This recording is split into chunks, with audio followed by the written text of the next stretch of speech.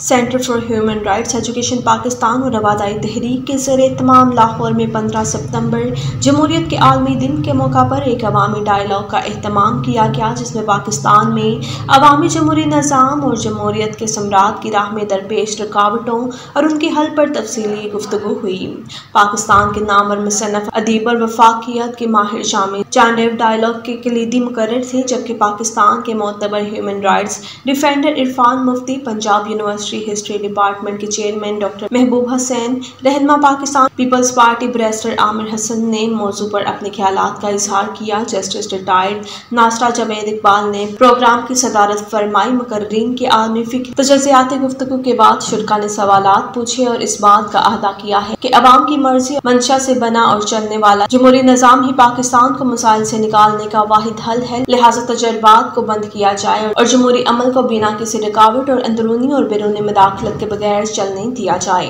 Programme के आगाज़ में पाकिस्तान की तारीख के पचहत्तर सालों में जमहूरियत और इंसानी हकूक़ के लिए कुर्बानियाँ देने वाली शख्सियात को याद किया गया और उनको ज़बरदस्त खराज तहसीन पेश किया गया।